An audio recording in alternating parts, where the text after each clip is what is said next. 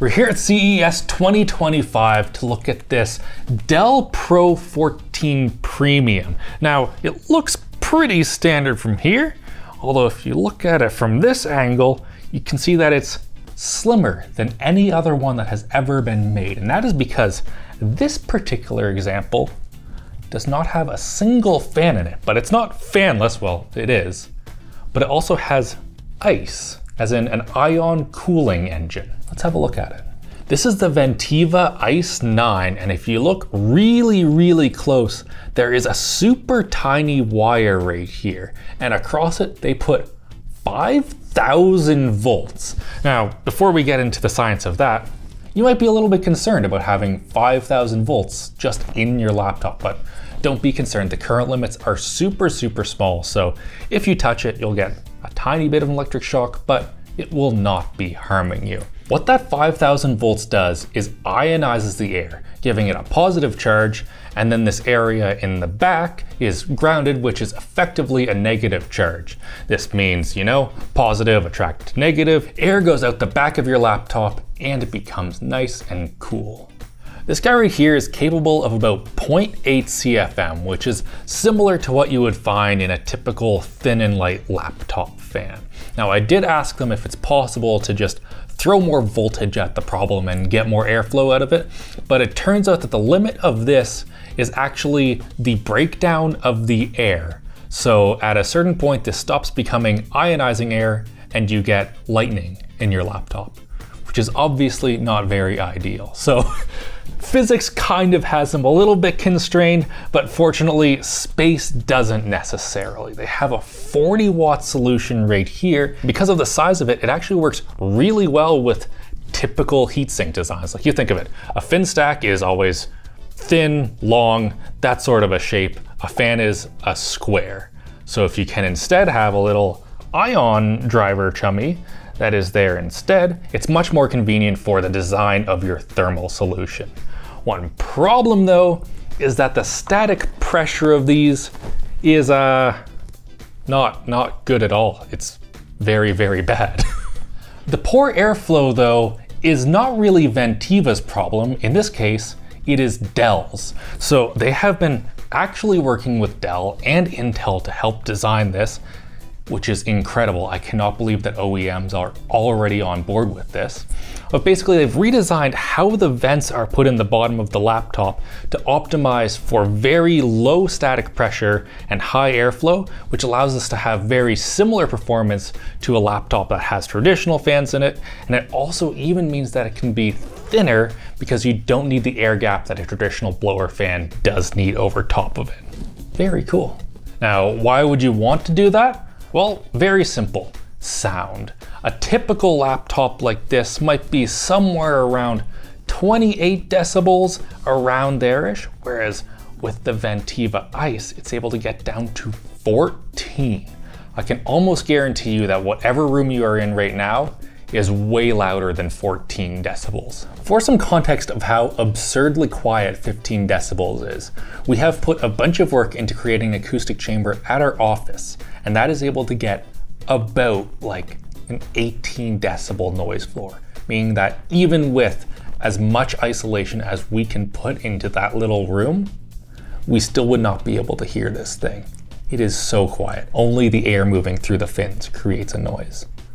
Two problems though if they want to make this an actual product. First of all, powering the thing. It's 5000 volts, so that can be an issue. And the second is, it might be a bit toxic.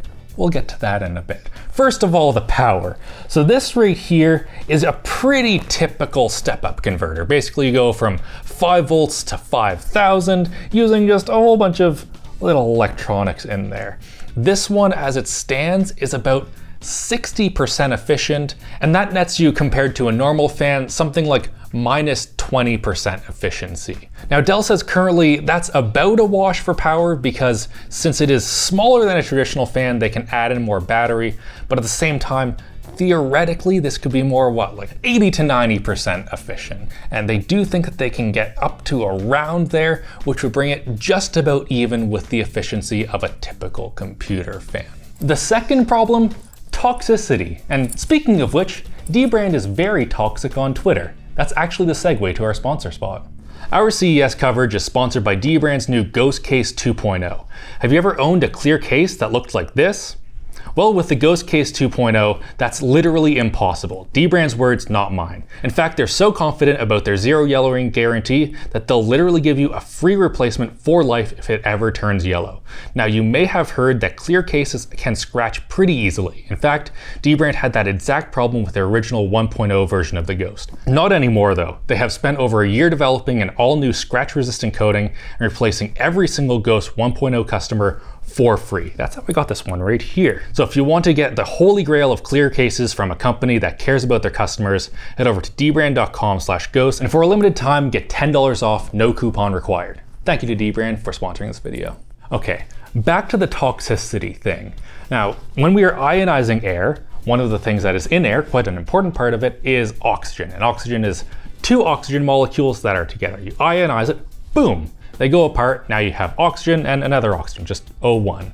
The problem is, is that sometimes it likes to create O3, which is ozone and which is not particularly good for you. Now in higher quantities, ozone can be toxic. You could never create a toxic amount of it out of one of these guys, but at the same time, it smells. You only need a very tiny bit of it for it to be smelly because our noses are excellent at their job. To combat the ozone, they have actually coated the fins in the heatsink with manganese dioxide. That acts kind of like a catalytic converter in your car, which takes the ozone and allows it to easily go back into the O2 that it wants to be. Even if you just have ozone normally in your house, it will break down in 25 minutes or so. That is the half-life, so you don't really have to worry about it, but you don't want your laptop to be smelly. One other thing that I was a little bit curious about though is dust. It seems like that if you have just this tiny little wire in there, it could be very prone to getting clogged up. And of course, it is not impervious to dust, but interestingly, it can also detect dust. Now they won't tell me exactly how it works, trade secret crap, but apparently the electrical characteristics of this wire will change as dust gets attached to it, and they can actually create a report of how much dust your laptop has intake. And also, Dell apparently will just not make a laptop if it gets dusty and stops working. I asked them about how they do it, and I guess they have just a chamber that is filled with cat hair and dust, and they just shake a laptop around in it for quite a while, and if it stops working, they don't sell you that laptop. Makes a lot of sense. Another thing you might be concerned about is upgradability, but fortunately that's very simple. There's a screw right here and a screw right there, and then you pull on this and it doesn't come off because it's glued down in this prototype, but in theory you could just take this top cover off, swap out this component right here, and then boom, you have a working not fan fan once again. Another thing is just the cost. Now, of course, they are absolutely nowhere near the economies of scale that you have with fans. Fans have been around for a very long time, and unsurprisingly, people have gotten very good at making them for cheap. But that said, these right here are very uncomplicated. It is a wire and a little bit of stamped metal, so this portion right here should be quite cheap. Although that said, you do still need a PCB and a bunch of electronics to get it up to 5,000 volts, so they don't expect it to ever get below the cost of a fan, but should be able to get pretty darn close. And again, I just want to talk about how absolutely stoked I am about this. Not just because I have a cool engineering sample thing here. I've seen loads of weird engineering samples. And again, the thing that makes me the most excited about this is the fact that Ventiva aren't the only ones that are excited about it. This is a real proof of concept that was made in collaboration with Dell, and Intel has also been putting a lot of engineering behind getting it integrated and just generally testing it with their designs. That means that it isn't just them looking for it, but there's a good chance that you might actually have a Dell laptop in the future that has no fans, but still has forced induction. What would you call it? But still has airflow. Still has airflow. Sure, we'll call it that.